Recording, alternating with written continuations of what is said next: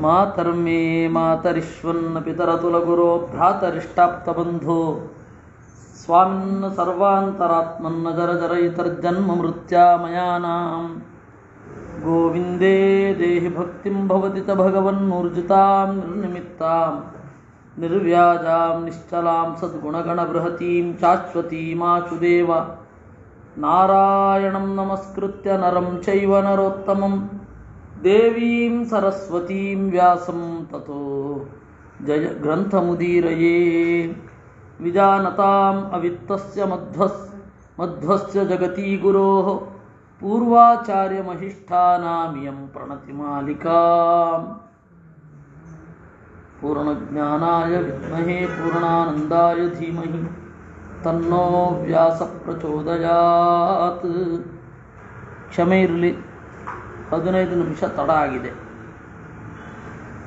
ಹೋದ ಬಾರಿ ಎರಡನೆಯ ಅಧ್ಯಾಯದ ಎಂಟನೆಯ ಎರಡನೇ ಅಂಶದ ಎಂಟನೇ ಅಧ್ಯಾಯದಲ್ಲಿ ಬೆಳಕಿನ ವ್ಯವಸ್ಥೆಯ ಬಗ್ಗೆ ನಾವು ನೋಡ್ತಾ ಇದ್ವಿ.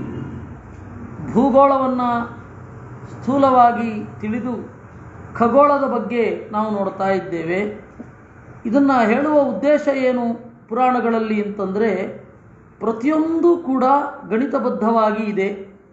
ಪ್ರತಿಯೊಂದು ಕೂಡ ಭಗವಂತನ ಶಕ್ತಿಯ ಹಿನ್ನೆಲೆಯಲ್ಲಿ ಕ್ರಮಬದ್ಧವಾಗಿ ಇದೆ. ಅಕ್ರಮವಾದದ್ದು ಎಲ್ಲಿಯೂ ಇಲ್ಲ. ಎಲ್ಲ ಕಡೆ ಒಂದು ಕ್ರಮ ಇದೆ.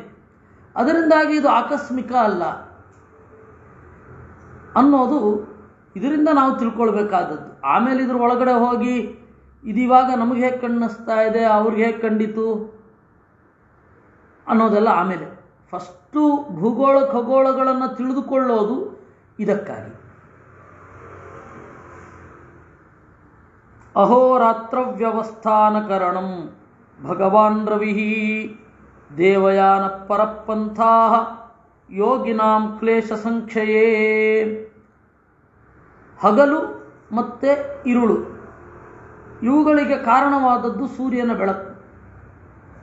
ಸೂರ್ಯ ಯಾವಾಗಲೂ ಇರ್ತಾನೆ, ಮುಳುಗೋದು ಅಂತ ಇಲ್ಲ. ಜನಾನಾಂ ತಥಾ ಪ್ರತೀಯಮಾನತ್ವಂ ಅಂತ ಮಧ್ವಾಚಾರ್ಯರು ತಮ್ಮ ಆಥರ್ವಣೋಪನಿಷತ್ ಭಾಷ್ಯದಲ್ಲಿ ಹೇಳಿದ್ದಾರೆ. ಜನರಿಗೆ ಹಾಗೆ ತೋರತ್ತಷ್ಟೆ. ಸೂರ್ಯ ಮುಳುಗಿದ್ದಾನ ಅಂದರೆ ಮುಳುಗಿಲ್ಲ.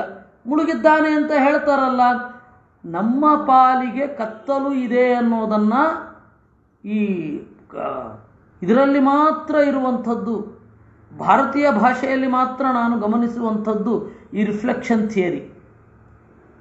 ಇನ್ನೇನು ಊರು ಬಂತು ಅಂದರೆ ನಾವು ಹೋಗ್ತಾ ಇದ್ದೀವಿ ಅಂತ ಅರ್ಥ. ನಮ್ಮ ಗಮನವನ್ನು ಊರಿನಲ್ಲಿ ಹಾಕಿ ಅದು ಬರ್ತಾ ಇದೆ ಅಂತ. ದಾಸ ಸಾಹಿತ್ಯದಲ್ಲಿ ಆಳಕ್ಕೆ ಹೋದವರು ಹೀಗೆ ಅರ್ಥ ಹೇಳ್ತಾರೆ. ಇಂದಿರಾಪತಿ ಇವರ ಮುಂದೆ ಕುಣಿವನು, ಅಂದವಚನವ ನಿಜವ ನಿಜಕ್ಕೆ ತಂದು ಕೊಡುವನು ಅಂತ. ಅಲ್ಲಿ ಇಂದಿರಾಪತಿಯವರ ಮುಂದೆ ಕುಣಿಯೋದು ಏನು? ದೇವರು ಬಂದು ಇವ್ರ ಮುಂದೆ ಡ್ಯಾನ್ಸ್ ಮಾಡ್ತಾನೆ ಅಂತಲ್ಲ, ಇವರು ದೇವ್ರ ಮುಂದೆ ಡ್ಯಾನ್ಸ್ ಮಾಡ್ತಾರೆ ಅಂತ. ಯಾಕೆ ಅಂದರೆ, ಯಜ್ಞನಾಮಕ ಪರಮಾತ್ಮ ಪಾದದಲ್ಲಿ ಜಯಂತನ ಒಳಗಡೆ ನೆಲೆಗೊಂಡಿದ್ದಾನೆ. ಆ ಯಜ್ಞನಾಮಕ ಪರಮಾತ್ಮನ ಪತ್ನಿ ರೂಪದ ಹೆಸರು ಇಂದಿರಾ ಅಂತ. ಇಂದಿರಾಪತಿ ಇವರ ಮುಂದೆ ಕುಣಿವನು ಅಂದರೆ, ಇವರು ಕುಣಿತಾರೆ ದೇವರು ಕುಣಿಯುವಂತೆ ಮಾಡ್ತಾನೆ ಅಂತ ಅರ್ಥ. ಅದರಿಂದಾಗಿ ರಾಯಚೂರಲ್ಲಿ ಒಬ್ಬರು ಇದ್ದರು ಕೆ. ರಾಘವೇಂದ್ರ ರಾವ್ ಅಂತ. ಅವರು ಈ ತರಹದ ಸಂಗತಿಗಳನ್ನು ಬಹಳ ಹೇಳೋರು.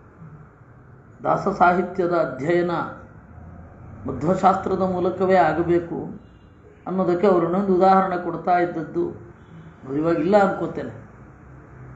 ಪ್ರಾಯ ಇಲ್ಲ, ಹೋಗಿ ಹತ್ತು ವರ್ಷ ಆಗಿದೆ ಅದಕ್ಕೆ ಅವ್ರು ಇನ್ನೊಂದು ಉದಾಹರಣೆ ಕೊಡ್ತಾ ಇದ್ದದ್ದು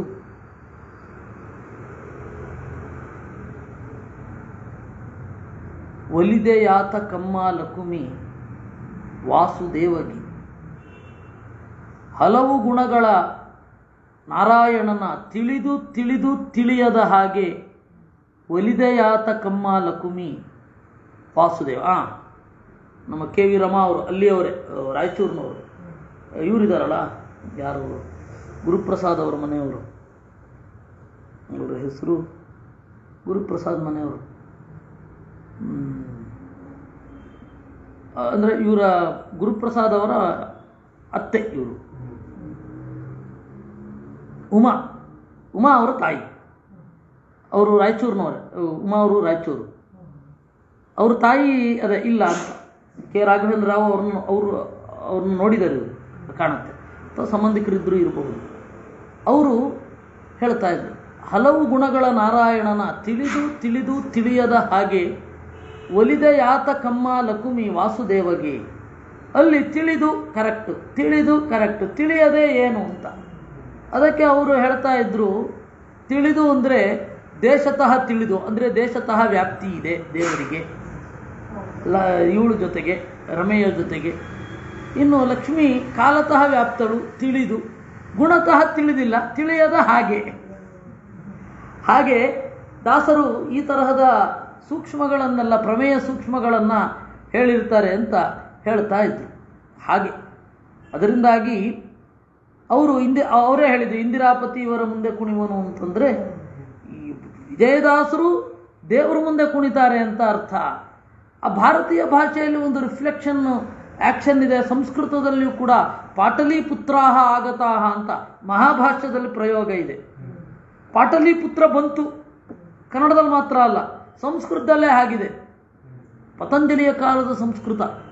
ಪತಂಜಲಿ ಯಾವಾಗ ಅಂತಂದ್ರೆ ಪಾಕಿಸ್ತಾನದಲ್ಲಿಯೂ ಯಾವಾಗ ಸಂಸ್ಕೃತ ಓಡ್ತಾ ಇತ್ತು ಅವಾಗ. ನಿಮಗೆ ಒಂದು ಸಂಗತಿ ಹೇಳಬೇಕು. ಪಾಣಿನಿ ಮತ್ತು ಪತಂಜಲಿ ಇಬ್ಬರು ಪಾಕಿಸ್ತಾನದವರು. ತಕ್ ಹೌದು, ಒಬ್ಬ ತಕ್ಷಶಿಲ ಒಬ್ಬ ಪುರುಷಪುರ. ಪುರುಷಪುರವೇ ಪೇಶಾವರ ಪುರುಷಪುರವೇ ಪೇಶಾವರ ತಕ್ಷ ತಕ್ಷಶಿಲ ಇವಾಗ ಟ್ಯಾಕ್ಶೀಲ್ ಆಗಿದೆ. ಆ ಪಾಣಿನಿ ಮತ್ತು ಪತಂಜಲಿ ಏನಿದ್ದಾರೆ, ಅವರಿಬ್ಬರ ವ್ಯಾಕರಣ ಮಹಾಭಾಷ್ಯ. ಸಿಕ್ಕಿದ್ದು ಕೇರಳದಲ್ಲಿ. ಅದೊಮ್ಮೆ ಸಿಗಿರ್ ಸಿಕ್ಕಿರಲಿಲ್ಲ ಅಂತ ಆದರೆ ಮಹಾಭಾಷೆ ಮಿಸ್ ಮಾಡ್ಕೊಂಡ್ಬಿಡ್ತಾ ಇದ್ವಿ.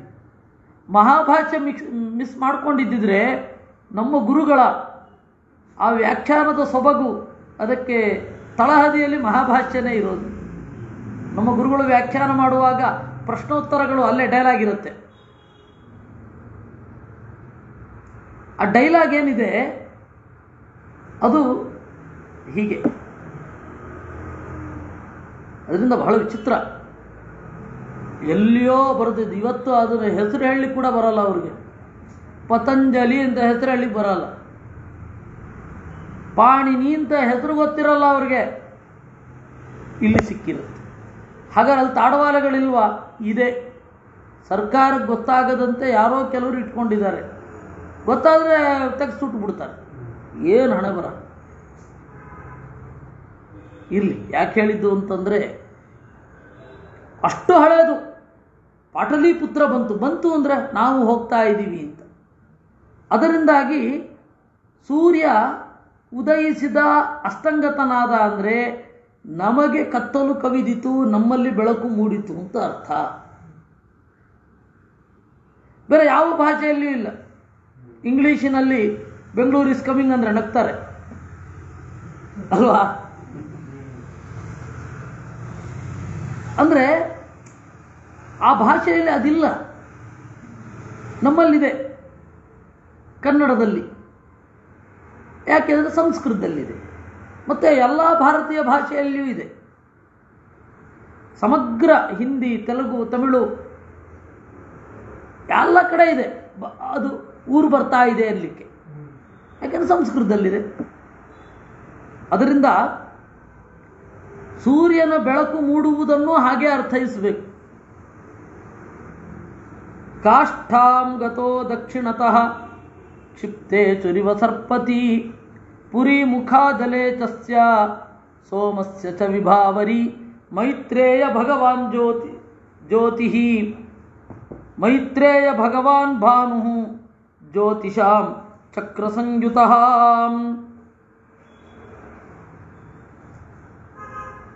ಓ ಮೈತ್ರೇಯ ಈ ಸೂರ್ಯ ಜ್ಯೋತಿಷಾಂ ಚಕ್ರ ಸಂಯುತ ಬೆಳಕುಗಳ ಚಕ್ರದಿಂದ ಕೂಡಿಕೊಂಡು ದಕ್ಷಿಣದಿಂದ ಕ್ಷಿಪ್ತೇಶ್ವರಿವ ಹೊಡೆದ ಬಾಣದ ಹಾಗೆ ಬೆಳಕನ್ನ ಚಿಮ್ಮಿಸುತ್ತಾನೆ. ಸೂರ್ಯನ ಬೆಳಕು ಬಾಣದ ಹಾಗೆ ಚಿಮ್ಮುತ್ತದೆ. ದಕ್ಷಿಣದ ಮೂಲಕ. ಈ ದಕ್ಷಿಣಾಯನ ಮತ್ತು ಉತ್ತರಾಯಣ ಅನ್ನುವುದು ದೇಹದಲ್ಲಿರುವ ಬೆಳಕು ಹೌದು. ದಕ್ಷಿಣಾಯನ ರಶ್ಮಿಯ ಮೂಲಕ ದೇಹತ್ಯಾಗ ಮಾಡಿದವರು ಮರಳಿ ಬಾರದ ಲೋಕಕ್ಕೆ ಹೋಗ್ತಾರೆ. ಸರಿ, ಉತ್ತರಾಯಣದ ಮೂಲಕ. ದಕ್ಷಿಣಾಯನದ ಮೂಲಕ ಹೋದವರು ಮರಳಿ ಬರುತ್ತಾರೆ. ಅದು ದೇಹದಲ್ಲಿಯೇ ಇರುವಂತಹ ನಾಡಿಯ ಬೆಳಕಿನ ವ್ಯವಸ್ಥೆಗಳು ಆಯಾ ಕಡೆಗೆ ಹೋಗ್ತಾರೆ. ಇದು ಇರುವಂಥದ್ದು. ಹಾ, ಹೊರಗಡೆಯ ದಕ್ಷಿಣಾಯನ, ಹೊರಗಡೆಯ ಉತ್ತರಾಯಣ ಅಲ್ಲ. ಅದರಿಂದ ಇಲ್ಲಿ ಹೊರಗಡೆ ಇರುವಂತಹ, ಒಳಗಡೆ ಇರುವಂತಹ ಈ ತರಹದ ಬೆಳಕುಗಳನ್ನು ಇಟ್ಟುಕೊಂಡು ದೇವಯಾನ, ಪಿತೃಯಾನ ಅಂತ ಹೇಳ್ತಾರೆ. ದೇವಯಾನ ಅಂತಂದರೆ ಉತ್ತರ. ಪಿತೃಯಾನ ಅಂತಂದರೆ ದಕ್ಷಿಣ. ಈ ತರಹ ಇಟ್ಕೊಳ್ತಾರೆ.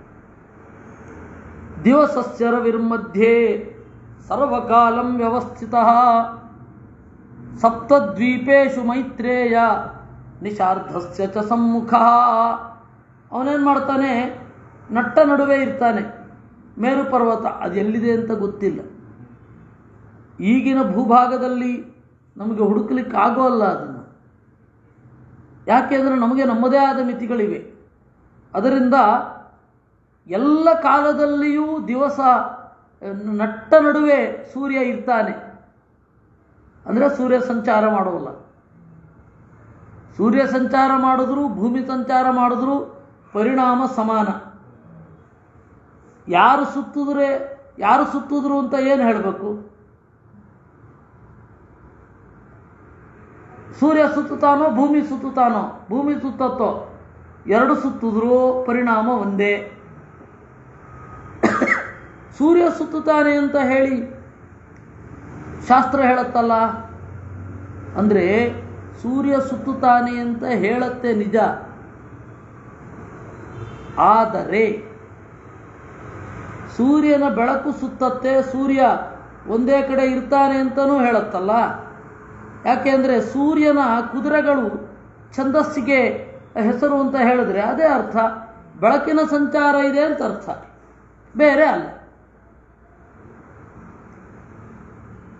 ಸಪ್ತದ್ವೀ ಸರ್ವದ್ವೀಪೇಶು ಮೌ ಮೈತ್ರೇಯ ನಿಶಾರ್ಧಸ್ಯ ಚ ಸಮ್ಮುಖ ಉದಯಾಸ್ತಮನೆ ಚೈವ ಸರ್ವಕಾಲಂ ತು ಸಮ್ಮುಖೆ ವಿದಿಶಾಸು ತ್ವಶೇಷಾಸು ತಥಾ ಬ್ರಹ್ಮನ್ ದಿಶಾಸು ಚಾಂ ಉದಯ ಮತ್ತು ಅಸ್ತಮನ ಅನ್ನೋದು ಸೂರ್ಯ ತನ್ನ ಕಿರಣವನ್ನು ಉಪಸಂಹಾರ ಮಾಡಿಕೊಂಡಿದ್ದಾನೆ ಅಂತ ಅಷ್ಟೇ ಅರ್ಥ.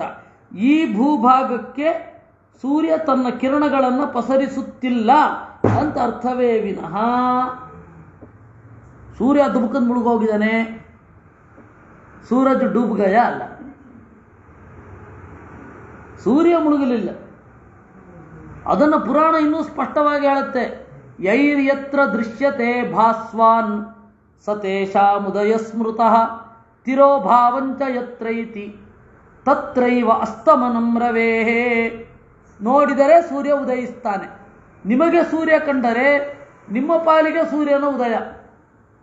ನಿಮಗೆ ಸೂರ್ಯ ಕಾಣದಿದ್ದರೆ ನಿಮ್ಮ ಪಾಲಿಗೆ ಸೂರ್ಯನ ಅಸ್ತಮನವೇ ವಿನಃ ಸೂರ್ಯನೇ ಮುಳುಗಿ ಹೋಗ್ಬಿಡ್ಲಿಲ್ಲ ಅದು ವ್ಯವಹಾರ. ಓ, ನೀವು ಭಾರತೀಯ ಭಾಷೆಯಲ್ಲಿ ಬರೇ ಇದೇ ರೀತಿ ವ್ಯವಹಾರ ಮಾಡ್ತೀರಾ ಅಂದರೆ ನಮ್ಮಲ್ಲಿ ಭಾಷೆಯಲ್ಲಿ ಎಷ್ಟೋ ಗುಣಗಳಿವೆ.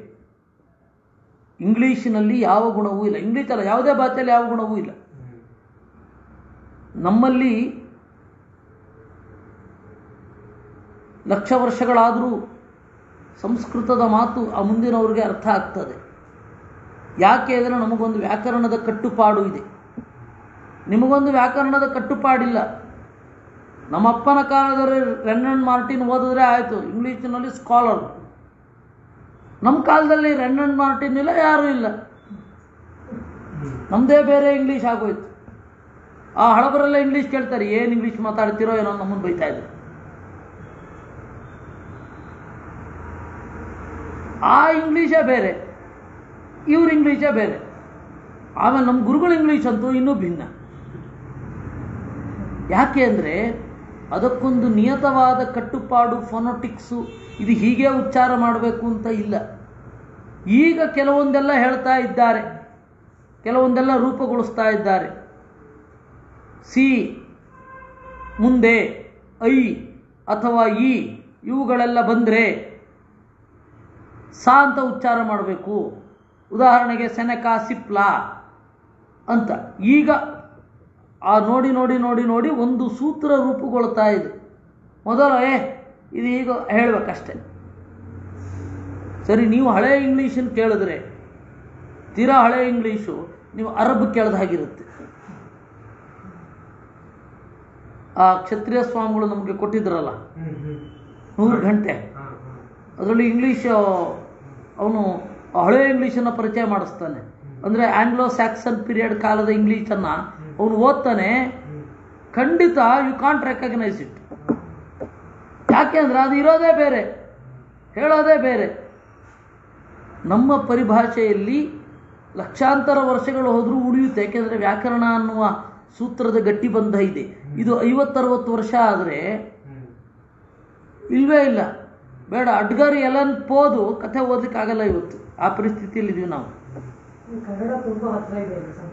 ಹಾಂ ಅದು ಎಲ್ಲ ಭಾರತೀಯ ಎಲ್ಲ ಭಾಷೆಗಳು ಇದೆ. ನಾವೇ ದೂರ ಬಂದಿದ್ರೆ ಬಂದಿದ್ದೆವು ಅಷ್ಟೇ. ಯಾಕೆ ತಮಿಳಿಲ್ವೇನು? ಅವ್ರು ಎಂದಿರನ್ ಅಂತಾರೆ ಅವ್ರ ಯಂತ್ರ ಅಷ್ಟೇ ಇನ್ನೇನಿಲ್ಲ. ಅನ್ಯಾನನ್ನ ಅನ್ಯನ್ ಅಂತಾರೆ ಏನೋ ಹೊಸದು ಅಂತ ಅನ್ಕೋಬೇಕು ಎಲ್ಲ ಇಲ್ಲಿದೆ. ಯಾಕೆ ಹೇಳಿದೆ ನಾನು ಅಂದರೆ ಸಂಸ್ಕೃತದ ಪರಿಭಾಷೆ, ಭಾರತೀಯ ಪರಿಭಾಷೆಯಲ್ಲಿ ಏನೊಂದು ಕೆಲವು ಭಾಷಾಶಾಸ್ತ್ರದ ಹಿನ್ನೆಲೆಯಲ್ಲಿ ಈ ರಿಫ್ಲೆಕ್ಷನ್ ಥಿಯರಿ ಅಂತ ನಾನೇನು ಹೇಳಿದೆ, ಇದನ್ನು ನೀವು ಸಂಸ್ಕೃತದಲ್ಲಿ ಬೇರೆ ಭಾಷೆಯಲ್ಲಿ ಅಪ್ಲೈ ಮಾಡಲಿಕ್ಕೆ ಬರಲ್ಲ.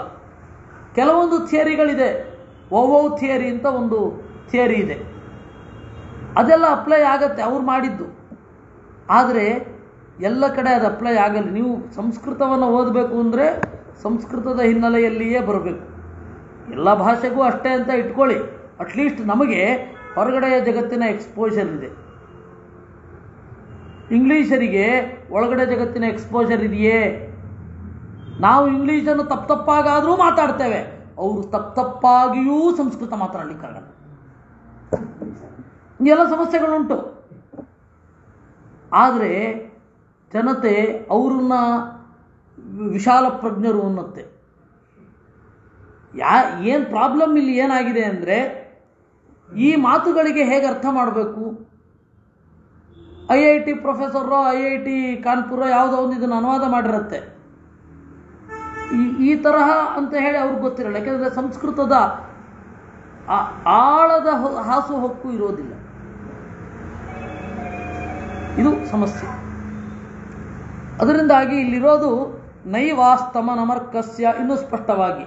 ಅರ್ಕಸ್ಯ ಸೂರ್ಯನಿಗೆ ನೈವ ಅಸ್ತಮನಂ, ಅಸ್ತಮನ ಅನ್ನೋದಿಲ್ಲ. ನೋದಯ ಸರ್ವದಾ ಸತಃ, ಉದಯವೂ ಇಲ್ಲ. ಉದಯಾಸ್ತಮನಾಕ್ಷಂ ಹಿ ದರ್ಶನ ದರ್ಶನಂ ರವೇಹೇ ದರ್ಶನ ಮತ್ತು ಅದರ್ತನ ಅಂತನ್ನೋದು ಉದಯ ಮತ್ತು ಅಸ್ತಮನ ಅಂತ ಹೇಳ್ತಾರೆ. ಶಕ್ರಾದೀನಾಂ ಪುರೇ ತಿಷ್ಠನ್ ಸ್ಪೃಶತ್ಯೇಶ ಪುರತ್ರಯಂ ವಿಕೋಣೌ ದ್ವೌ ವಿಕೋಣಸ್ಥಃ ತ್ರೀನ್ ಪುರೇ ತಥಾ. ಈ ಸೂರ್ಯನ ಬೆಳಕಿನ ಕೊನೆ ಎಲ್ಲಿಗೆ? ಸೂರ್ಯನ ಬೆಳಕು. ಈ ಬೆಳಕು ಇಲ್ಲೊಂದು ಕಡೆ ಕೊನೆ ಅಂತ ಅನ್ಬೇಕಲ್ಲ. ಈಗ ಈ ಲೈಟ್ ದಂಡದೀಪ ಅಲಿಯಾಸ್ ಟ್ಯೂಬ್ಲೈಟ್. ಈ ಟ್ಯೂಬ್ಲೈಟ್ ಏನಿದೆ?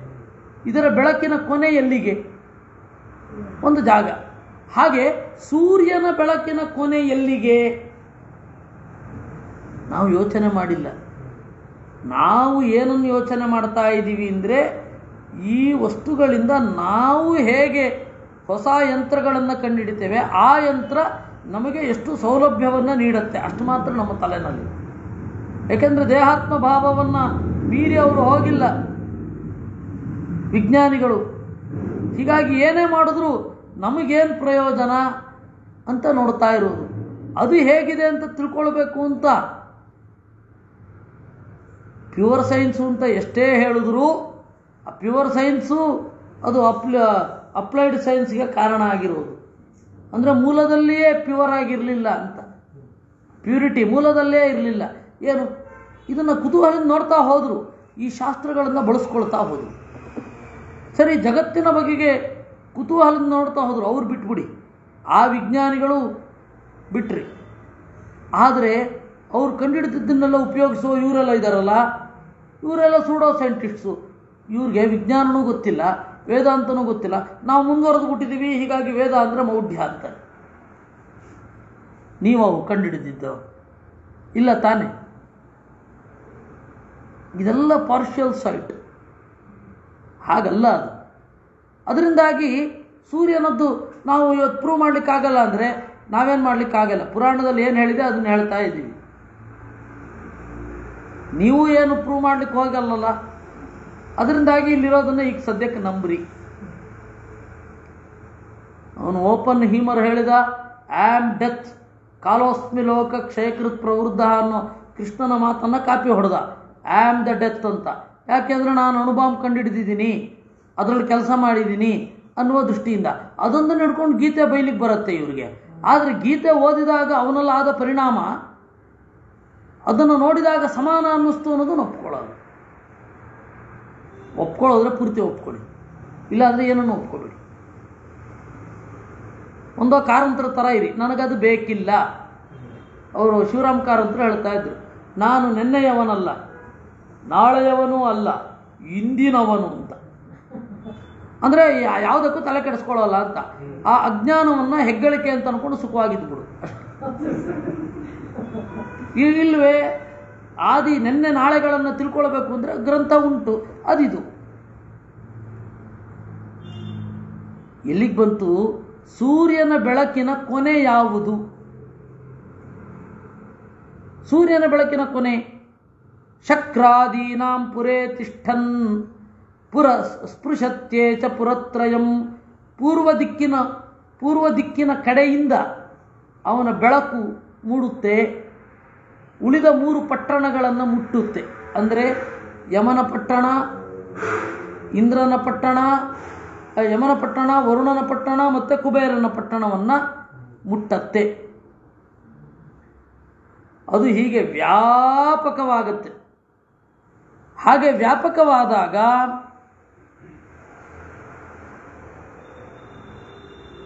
ಏನಾಗತ್ತೆ? ವಿಕೋಣೋದ್ದೋ ವಿಕೋಣಸ್ಥಃ.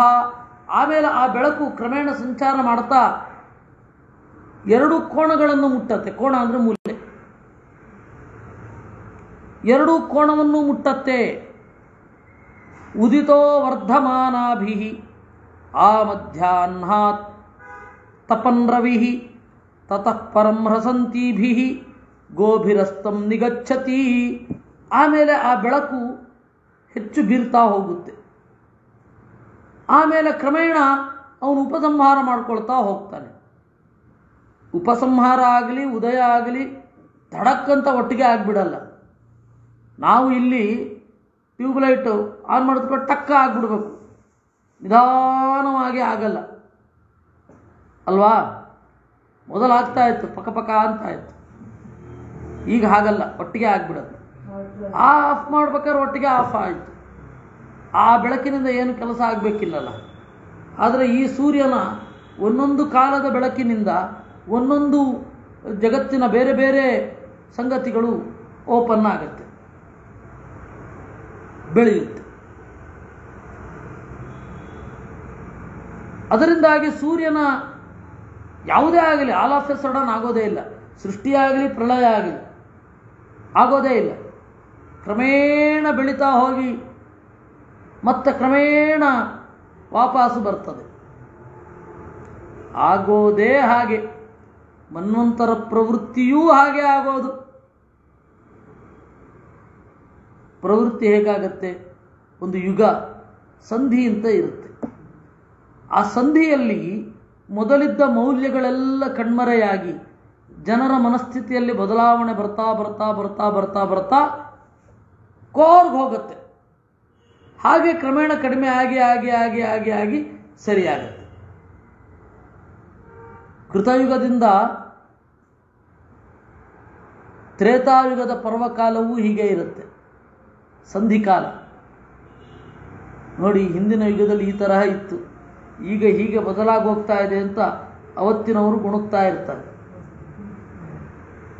ಕಲಿಯುಗ ಮುಗಿದು ಕೃತಯುಗ ಶುರು ಆಗಬೇಕಾದ್ರೂ ಹೀಗೆ ಆಗುತ್ತೆ.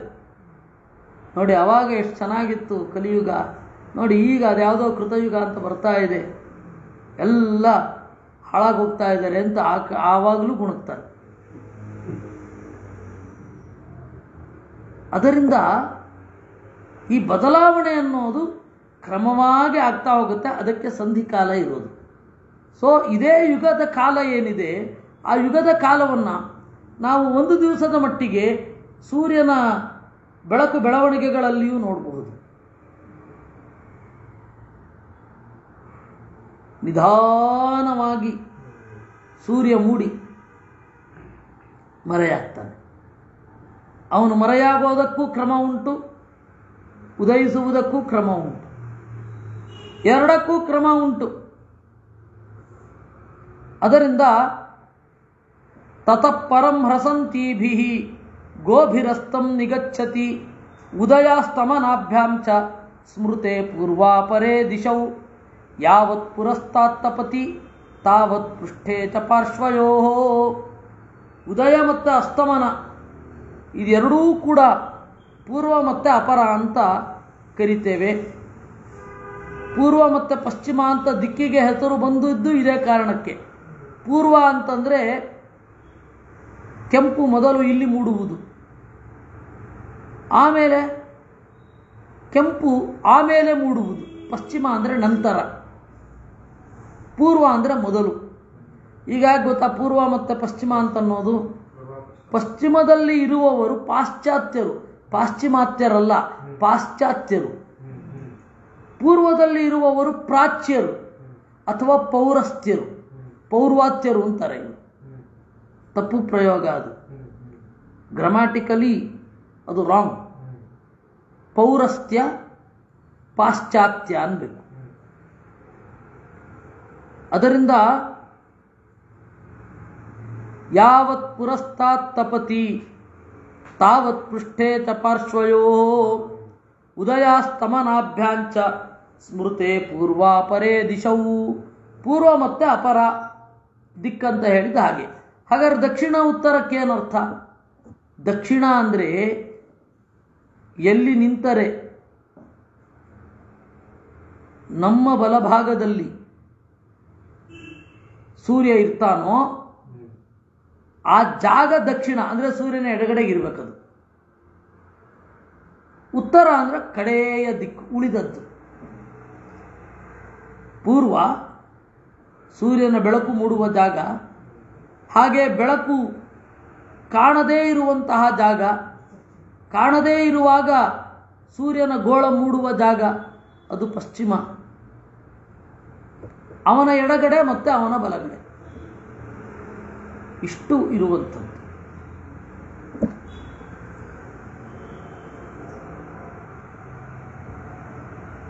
ತಸ್ಮಾತ್ ದಿಶ್ಚುತ್ತರಸ್ಯಾಂ ವೈ ದಿವಾರಾತ್ರಿ ಸದೈವ. ಹಿ ಸರ್ವೇಷಾಂ ದ್ವೀಪ, ದ್ವೀಪವರ್ಷಾಣಾಂ ಮೇರುರುತ್ತರತೋ ಯತಃ. ಉತ್ತರ ದಿಕ್ಕಿನಲ್ಲಿ ಎಲ್ಲ ದ್ವೀಪ ವರ್ಷಗಳಿಗೆ ಹಗಲು ರಾತ್ರಿ ಇರುತ್ತೆ. ಪ್ರಭಾ ವಿವಸ್ವತೋ ರಾತ್ರೌ. ಅಸ್ತಂ ಗಚ್ಚತಿ ಭಾಸ್ಕರೆ. ವಿಷತ್ಯಗ್ನಿಮತೋ ರಾತ್ರೌ. ವನ್ಹಿರ್ದೂರಾತ್ ಪ್ರಕಾಶತೆ ಸೂರ್ಯನ ರಶ್ಮಿ. ಅಸ್ತಂ ಗಚ್ಚತಿ ಭಾಸ್ಕರೇ, ಕಾಣದಾಗುತ್ತಿರಲು. ರಾತ್ರಿಯಲ್ಲಿ ಅಗ್ನಿ ಪ್ರವೇಶ ಮಾಡ್ತಾನೆ.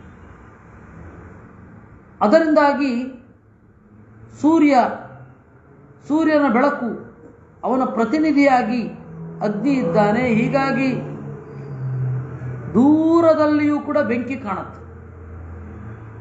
ಅಲ್ಲ ಇದಿದ್ದಾಗ ಕಾಣಲ್ವೇ?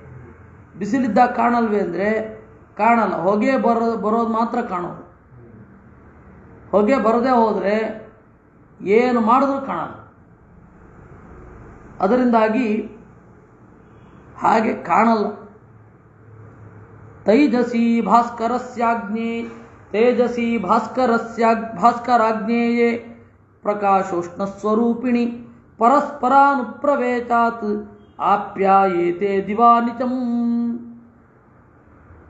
ಈ ಸೂರ್ಯ ಹಾಗೂ ಅಗ್ನಿ ಅವರಿಬ್ಬರ ಪರಸ್ಪರ ಪ್ರವೇಶ ಇರುತ್ತೆ. ಬೆಳಗ್ಗೆ ಬೆಳಗ್ಗೆ ಮತ್ತು ರಾತ್ರಿ. ಅಹೋರಾತ್ರಂ ವಿಷತ್ಯಂಭ ತಮ ಪ್ರಾಕಾಶ್ಯ ನೀಲವತ್. ಆ ಸೂರ್ಯ ಇಲ್ಲದೆ ಹೋದಾಗ ಕತ್ತಲು ಅಂತನ್ನೋದು ಉಂಟಾಗುತ್ತೆ. ಆ ತಾಮ್ರಾಹಿ ಭವಂತ್ಯಾಪ ದಿವಾರಕ್ತ ಪ್ರವೇತನಾತ್.